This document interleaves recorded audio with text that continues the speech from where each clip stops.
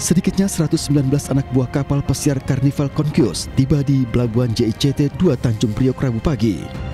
Kedatangan ABK dikawal ketat oleh personil TNI. Setibanya di dermaga, ratusan ABK menjalani rangkaian protokol kesehatan mulai dari penyemprotan disinfektan, pemeriksaan barang bawaan, dan pemeriksaan suhu tubuh.